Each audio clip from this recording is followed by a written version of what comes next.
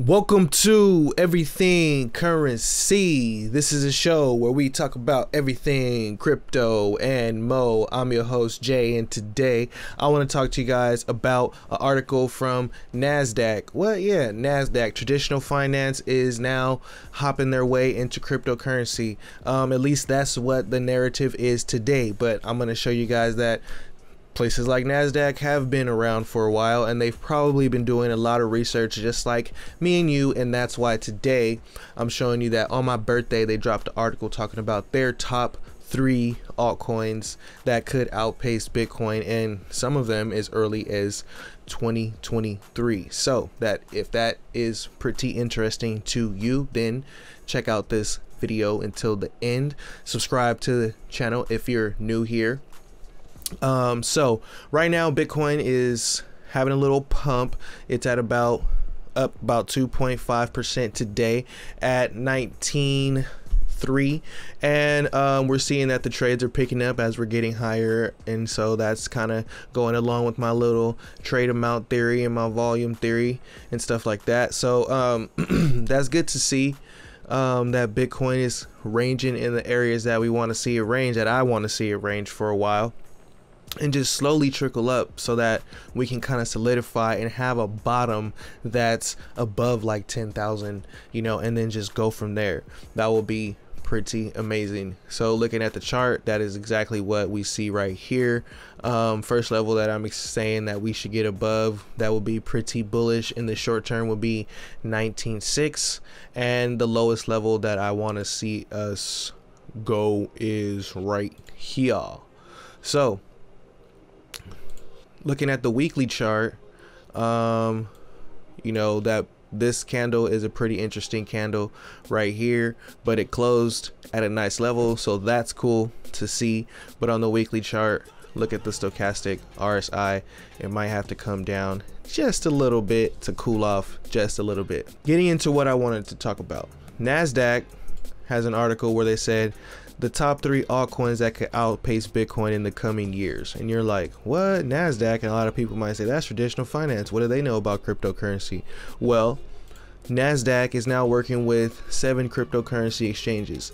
This article was posted in January 30th, 2019. So, for a long time, NASDAQ has been diving their heads into cryptocurrency to you know and back then you could see i mean if you got into cryptocurrency in 2019 chances are you learned about a lot of other things that blockchain has to offer which brings you to the altcoins and that's why a lot of us are here and i think that's where a lot of the value and a lot of the life-changing money is going to be made for a lot of people is in the altcoins where you can see that like investments as small as like a hundred to two hundred dollars are becoming thousands of dollars.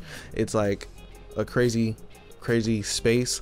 And you know everybody's talking about a bull run but it's like i'll take a slow trickle up forever you know?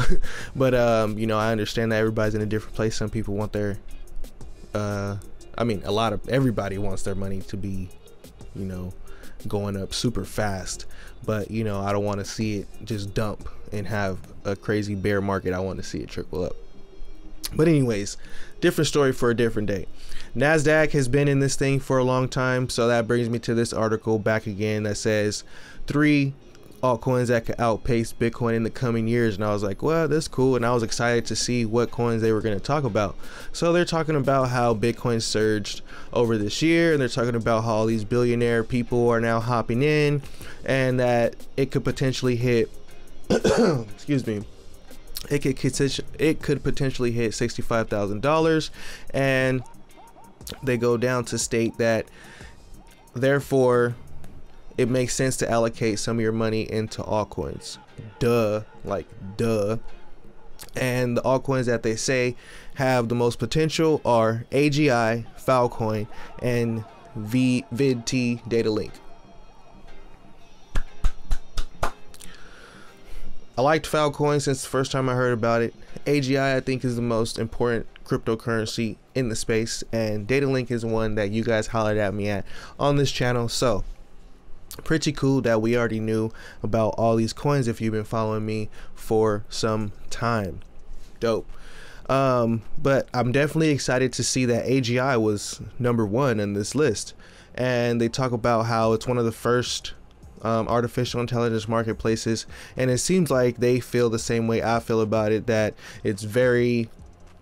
It's a very important project. It's only five cents. Um, ben Van Goertzel, Ben Goertzel, I don't know if it's Van Goertzel or Goertzel. Ben Goertzel, the CEO, is like a pioneer in artificial intelligence. So it's great that he's the person kind of behind this project.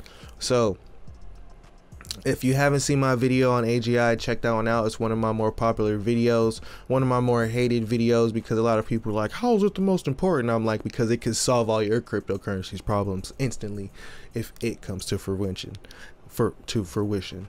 But yeah, so if you haven't checked out AGI, check out AGI right now it's only 5 cents at a market cap of 50 million so I think if they say that this market cap could go up to a trillion dollars just based on all the industries that um, artificial intelligence will be involved in and how it's getting into pretty much every industry. It's going to touch every industry in the world sooner or later. And, you know, Singularity.net is kind of a pioneer. So that's pretty, you know, I'm excited to see what happens to this market cap over time.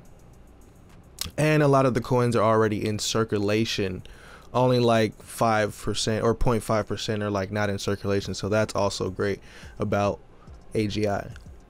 The other coins on their list, Filecoin, I have to do more research into Filecoin to be honest with you, but I did a little bit of research into what it is and I was excited about it, but I didn't know that um, from based on this article, I didn't know some of the partnerships and stuff that they had. So maybe I'll do another video on Filecoin later to let you guys know my thoughts on that, but I'll post this article in the description so you can read up on Filecoin and I'll do the same with Data Link which is already up 845 percent this year and they're still calling it out.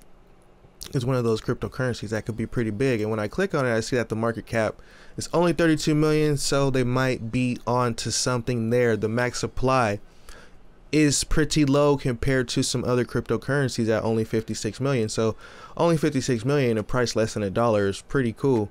Um, you know, there's some potential there. So Bitcoin continues to go up and nothing crazy happens, like cryptocurrency doesn't get banned by the world and which can't really happen. And you know, as long as nothing crazy happens, I think we're in for a nice ride you know, for the next three to four to five years. So, subscribe to my channel. I'm gonna be there the whole way. Hopefully, you guys are there with me. Hopefully, you guys like the video.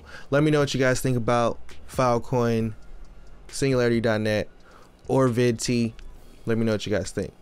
Till next time, peace.